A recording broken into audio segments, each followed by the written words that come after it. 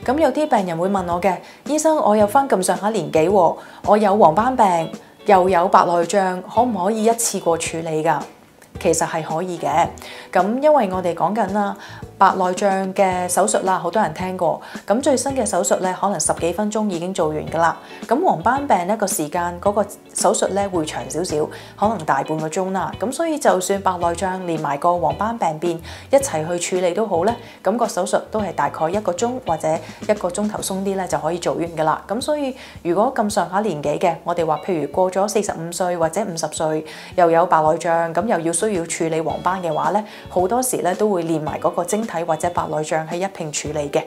咁頭先都講咗少少嘅白內障，其實原理好簡單啦，即係相機呢個鏡頭後生就全透明嘅，大概五六十歲開始咧，佢就會變混濁噶啦，咁就會遮住睇嘢。咁我哋俗稱就叫佢做白內障啦。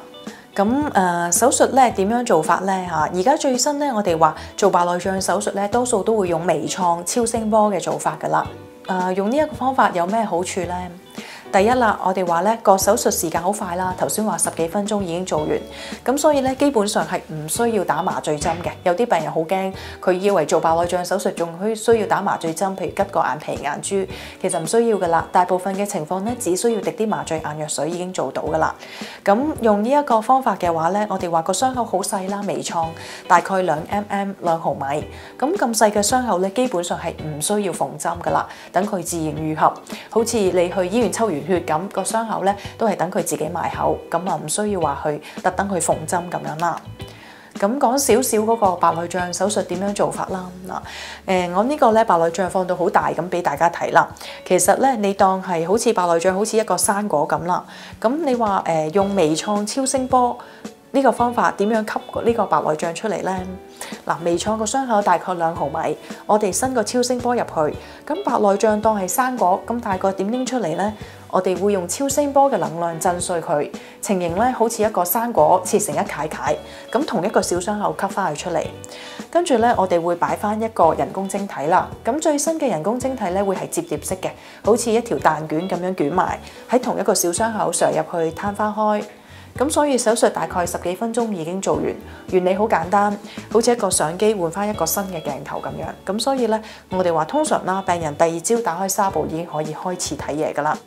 誒、白內障就講到係咁多啦，咁我哋講翻今日個主題啦，黃斑病變。咁如果我哋講緊，譬如我頭先講啦，你睇呢一個嘅阿姆斯勒嘅方格子咧，如果有變形啦，有個控啦，有重影或者模糊呢個情況咧，咁要即刻揾醫生幫你去檢查。咁因為呢一個係專門攞嚟測黃斑病變嘅。咁如果有呢一個格仔字體嘢有問題咧，我哋話，超過九成嘅機會都係個黃斑有問題，咁要即刻揾你嘅眼科醫生幫你檢查，睇下係邊一種嘅黃斑病變，再對症下藥，睇下點樣幫你治療。咁其實都唔止黃斑病嘅，但係黃斑病咧就特別重要係病向淺中醫，因為始終黃斑嘅細胞咧係有功能嘅，如果遲咗醫嘅話咧，視力提升咧係會下降嘅。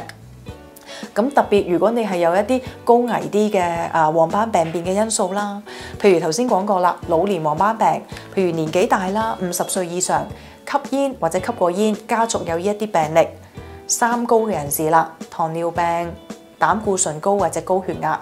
咁另外啦，我哋話喺香港啦，其實深近視非常常見嘅。咁深近視嘅病人咧，亦都會可以啊有呢一個黃斑病變嘅機會咧，係會高啲。咁如果我哋講緊最尾兩種，譬如黃斑前膜或者黃斑裂孔咁樣啦，高危因素咧就包括眼睛曾經發過炎、受過傷啦，或者做過任何激光或者手術咧，都係一啲高危嘅因素嚟嘅。咁另外啦，有一啲中年男士咧，亦特別留意啦。咁我哋有一種叫中張性嘅黃斑水腫。咁如果中年男男士譬如壓力大、精神緊張或者長期用類固醇嘅話咧，亦都係高危，會有一種中張性黃斑水腫。咁而家咧唔同嘅黃斑病其實有多咗好多唔同嘅治療方法啦。咁所以如果有呢啲高危因素，或者咧睇呢個阿姆斯勒嘅格仔紙有問題，或者有任何懷疑都好啦，咁最好揾你嘅眼科醫生幫你檢查一下，睇下點樣幫你咯。